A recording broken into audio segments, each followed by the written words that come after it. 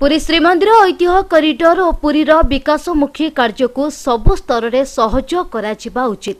ଶ୍ରୀମନ୍ଦିର ଚତୁଃପାର୍ଶ୍ୱ ବିକାଶମୂଳକ କାର୍ଯ୍ୟ ଜାତୀୟ ଐତିହ୍ୟ ପ୍ରାଧିକରଣର ବାଇଲକୁ ନେଇ କେତେଜଣ ବିଭ୍ରାନ୍ତି ସୃଷ୍ଟି କରୁଛନ୍ତି। କିନ୍ତୁ ସମସ୍ତ ଅନୁଷ୍ଠାନ ରାଜ୍ୟ ଓ କେନ୍ଦ୍ର ସରକାର ଏହି ବିକାଶମୂଳକ କାର୍ଯ୍ୟକୁ ସହଯୋଗ କରିବା ଆବଶ୍ୟକ ବୋଲି ଧର୍ମେନ୍ଦ୍ର ପ୍ରଧାନ କହିଛନ୍ତି।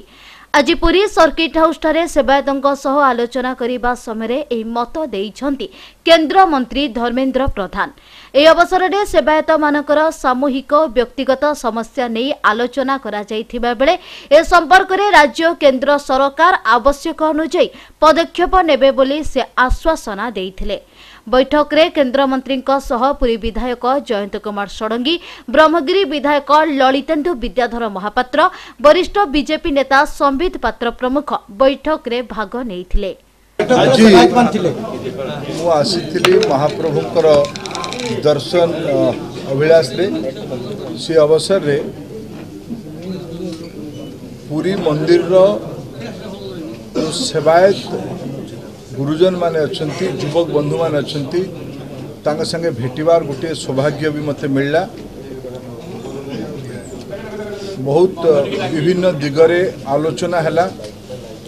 ସେବାୟତ ବନ୍ଧୁମାନଙ୍କର କିଛି ମୌଳିକ ଅପେକ୍ଷା ଅଛି ଏଟା ସ୍ୱାଭାବିକ ବି। ଶିକ୍ଷା ସ୍ୱାସ୍ଥ୍ୟ ଘର ସ୍କିଲ୍ ଡେଭଲପମେଣ୍ଟ ରୋଜଗାରର ଅଭିବୃଦ୍ଧି ଏସବୁ ସମ୍ପର୍କରେ କିଛି ଯୋଗ୍ୟ ଅପେକ୍ଷା ଅଛି। ସେଗୁଡ଼ିକୁ ସମସ୍ତେ ବିସ୍ତାରରେ ଆଲୋଚନା କଲେ ଅବଗତ କରାଇଲେ ବିଶେଷ କରିକି ଆଧୁନିକ ସମୟରେ ଲମ୍ବା ସମୟ ପର୍ଯ୍ୟନ୍ତ ମହାପ୍ରଭୁଙ୍କର ସେବା ନୀତିକାନ୍ତିକୁ ପରମ୍ପରା ଆଧାରରେ କିନ୍ତୁ ଆଧୁନିକ ସମୟକୁ ତାର ପରିବର୍ତ୍ତନକୁ ଧ୍ୟାନ ରଖିକି କେଉଁ ଭଳିଆ ଭାବେ କରାଯାଇପାରିବ ବିଶେଷ କରିକି ସେବାୟତ ସମାଜର ଯୁବବର୍ଗମାନଙ୍କ ଭିତରେ ତା ପାଇଁ ଆଗ୍ରହ ଅଛି ରୁଚି ଅଛି ଏଇଟା ବହୁତ ଗୋଟେ ଭଲ ଲକ୍ଷଣ। ପ୍ରଭୁ ଜଗନ୍ନାଥ ହେଲା ବିଶ୍ୱ ମାନବର ହୃଦୟର ହେଉଛି ଆତ୍ମା। ଆଉ ତାଙ୍କ ଅନୁଷ୍ଠାନ କେମିତି ଶୃଙ୍ଖଳିତ ହେବ ସେଇଟା ହେଉଛି ଛତ୍ରସାନୀ ଯୁଗର ସଦାସର୍ବଦା ଇଚ୍ଛା। ସେଇ ଇଚ୍ଛାକୁ ନେଇକରି ଆମର ମାନ୍ୟବର ଅ, କେନ୍ଦ୍ରମନ୍ତ୍ରୀ କିଛି ଇଚ୍ଛା ପ୍ରକାଶ କଲେ ଯେ ସେବାୟତମାନଙ୍କର ସମସ୍ୟା ଏବଂ ମନ୍ଦିର ସମସ୍ୟା ବିଷୟରେ କିଛି ଆମ ସହିତ ଭାବ ବଣ୍ଟନ କରିବା ପାଇଁ।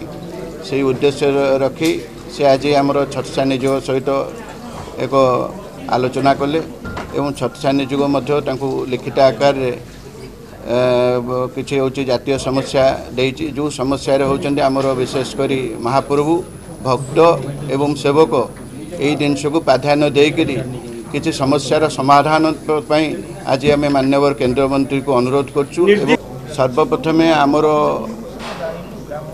ଯେଉଁ କେନ୍ଦ୍ର ଏବଂ ମୂଳାନୀ ପାଢ଼ୀ ଏବଂ ଆମର ସେବାୟତମାନଙ୍କ ଭିତରେ ଯେଉଁ ଗୋଟେ ସୁପ୍ରିମକୋର୍ଟରେ କେସ୍ ଅଛି ଆମେ କେନ୍ଦ୍ର ସରକାରଙ୍କୁ ଅନୁରୋଧ କଲୁ ଯେ କେନ୍ଦ୍ର ତାହାର ହେଉଛି ଏଇ ମତାମତ ହେଉଛି କୋର୍ଟରେ ପ୍ରକାଶ କରୁ କେନ୍ଦ୍ରର ଇଚ୍ଛା ରଖୁ ଦ୍ୱିତୀୟ କଥା ହେଲା ସେବାୟତମାନେ କେଉଁଭଳି ଭାବେ ଆତ୍ମନିର୍ଭରଶୀଳ ହୋଇପାରିବେ ଏବଂ ଭକ୍ତମାନଙ୍କୁ କେମିତି ଉପଯୁକ୍ତ ସେବା ଦେଇ ଦେଇ ହେବ ସେଥିପାଇଁ ସ୍କିଲ୍ ଡେଭଲପମେଣ୍ଟ ବାବଦରେ ସେବାୟତମାନଙ୍କୁ ଏବଂ ସେବାୟତମାନଙ୍କୁ ସହଯୋଗୀଙ୍କୁ ଗୋଟେ ଉତ୍ତମ ଶିକ୍ଷା ଦିଆ ହେଇକିରି ଯେମିତି ଭକ୍ତମାନଙ୍କୁ ଉତ୍ତମ ଆତିଥ୍ୟତା ଦିଆହେଇପାରିବ ପୂଜା ବିଧିରେ ମଧ୍ୟ ବହୁତ କିଛି ବିଦ୍ୟା ବି ଆହରଣ କରିପାରିବେ। ସମସ୍ତ ଭାଷା ମଧ୍ୟ ଶିଖିପାରିବେ। ଆମର ଭାରତୀୟ ଭାଷା ବାଦ ମଧ୍ୟ ଅନ୍ୟାନ୍ୟ ଭାଷା ମଧ୍ୟ ଶିଖିବା ପାଇଁ ଶିଖିପାରିବେ। ସେଠି ଉଦ୍ଦେଶ୍ୟରେ ଗୋଟେ ବି ଆମର ଅନୁରୋଧ କରାଗଲା। ପୁରୀରୁ ଅଜିତ ମହାନ୍ତିଙ୍କ ରିପୋର୍ଟ।